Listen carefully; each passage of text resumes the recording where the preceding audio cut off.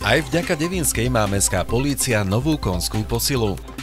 Počkaj, musíš to pekne na mikrofón hovoriť.